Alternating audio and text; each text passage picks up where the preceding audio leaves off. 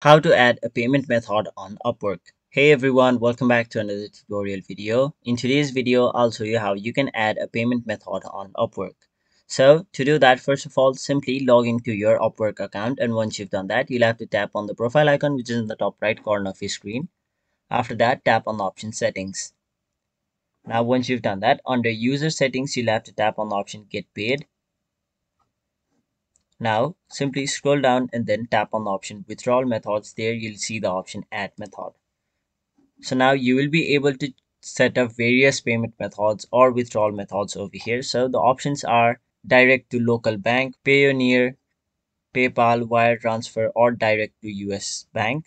So you can choose any one of these options right over here. So for now, I'll simply tap on the option wire transfer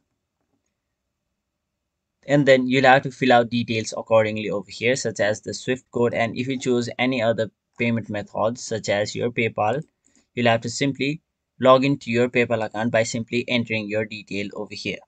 So once you've added a payment method or a withdrawal method if you want to get paid or withdraw money from your upwork account to your bank account or your paypal account or whatever you can simply do that and withdraw money from upwork so that was basically how you add a payment method or withdrawal method on Upwork. That was it for this video. Hope this video was helpful to you guys. And if it was, make sure you like this video and subscribe to our channel so that you don't miss out on further videos such as these.